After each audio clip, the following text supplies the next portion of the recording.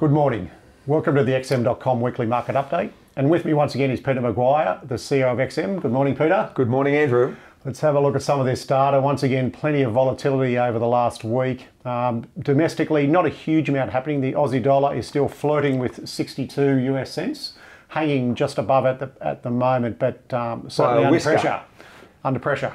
Yeah, the US dollar's given off a little bit, Andrew, in the last 24 hours. So I suppose that's been respite for the Aussie. And where it bounces from here, maybe there's a little bit further downside. We'll cover that a little bit later as far as yields. But that US dollar has been on fire and everything else has been cratered. So let's just see. Um, as the US dollar did give off some steam, Bitcoin went up 10%. Yeah, I know. It's uh, it's certainly the US versus everything else at the moment. So King dollar. Yeah. Uh, we look at uh, over to Japan. The CPI numbers came out um, three percent. Fairly steady with those numbers, which I think from an inflation perspective in Japan, they would be reasonably happy with that. So, Yes, they would be.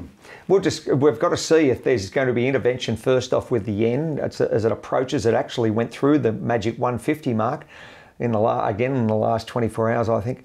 So there's that side of it, and what the policy statement's going to be from the BOJ leading into Christmas. Do they look at you know a rate rise, or do that? What what do they do? How do they play it? Um, we're in their hands, but there's been plenty of wild swings on the yen Yeah. in the last few months. Sure has. And, and looking at that yen, the, the chart tells a story. So that's just a one year chart. But yeah, and I think if you just look at those interest rate differentials between Japan and the US, they're just Oh. enormous. Exactly. Uh, If there was one market to trade and you only traded for the whole year and gave it all away and just traded one market, that's it.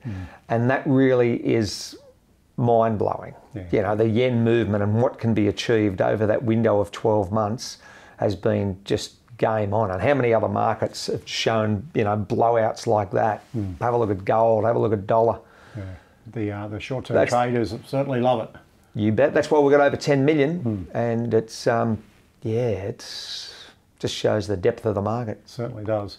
Um, over to the euro, once again, not an economy that is travelling very well at all. The GDP has been pretty close to zero the last couple of quarters, Yeah. and those PMI numbers are pretty horrible, to be honest. Yeah, the business surveys, Andrew, they're shocking and it's going to be bleak, I think, in fourth quarter and certainly into first quarter 24. And how, what the, well, where does the ECB play? Lagarde's coming out this week. There, you know, probability I think it's about 99% that there won't be a rate rise, and is the next decision going to be a, a pullback? We're just in the hands of them, but yeah, it's uh, certainly a pretty tough time the old eurozone, and we've just got to see how they fare into Christmas. Yeah, certainly do. Uh, the US, um, on the other side of the coin, the um, the GDP numbers are looking reasonably good at the moment. So Yeah. it's um, the economy's holding up very well. Obviously, pretty close to full employment over there.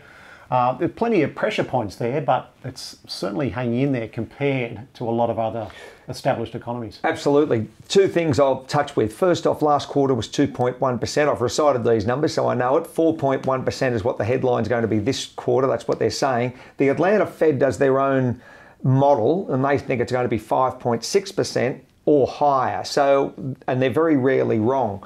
So let's see where it drops this week and then the impact that's going to have naturally to rate policy from Fed Chair Powell. What's his thoughts? And we all know what happened with the 10 year. We're going to move into that in a second.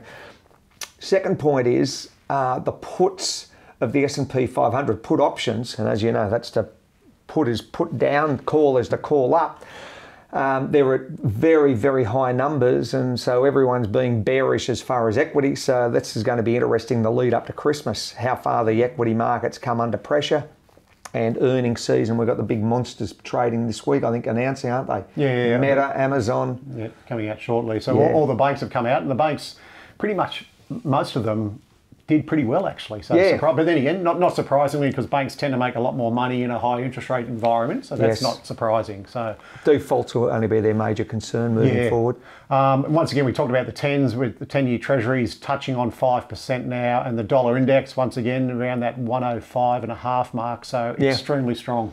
Yeah, exactly. The 10 year's been incredible. We had 40 basis points of volatility at the, towards the end of last week. Touched five or went through five and then all of a sudden pulled back. So that's 5%, that is. So, you know, talk about wild gyrations and what that impact is naturally to dollar. and then how that plays. The US dollar's given up a bit of steam, and as we mentioned earlier, as far as currencies.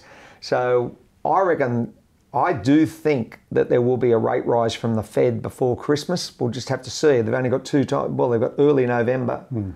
and they've got early December. So we've just got to see if that GDP comes in very, very strong.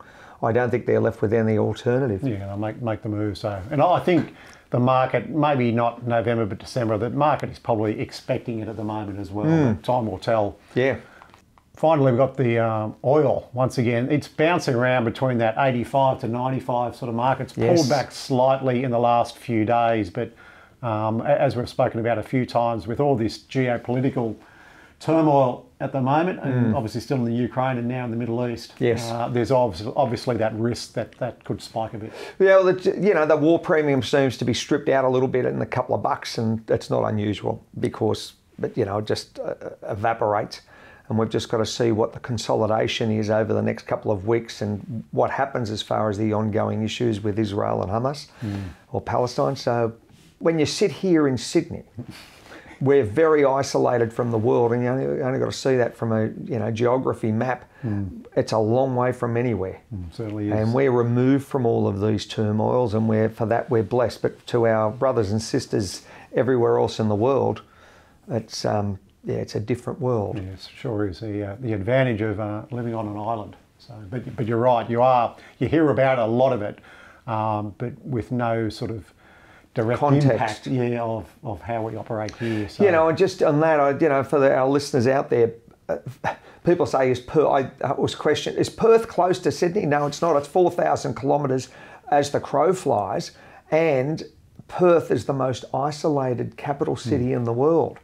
So that just demonstrates again, that's the other side of the nation. So yeah. really it is. It's our, our show takes us on a global footprint and it's uh, sometimes nice to just to discuss those geographical um, yeah, frameworks that mm. where we where we speak from. Yeah, I know it's uh, certainly a big a big nation. There's no doubt about oh, it. Oh so. yeah, with no one here. No, that's right. It's uh, not a huge population. So, but once again, plenty going on. We'll keep an eye on these markets over the next week, and we'll uh, regroup again next week. I look forward to it. You know, we got uh, lead up to early November. What's going to happen with our um, RBA rate policy and the Fed and Lagarde this week and Japan. Mm. So yeah, man, it's plenty of action. Mm. And have a look at gold. Mm. So yeah, it's been a vibrant two weeks. Yeah, there's plenty going on. We'll uh, we'll keep an eye on things and we'll uh, we'll catch up again next week. Look forward to seeing you, Andrew. Right, thanks, Pete. And that's the XM.com weekly market update.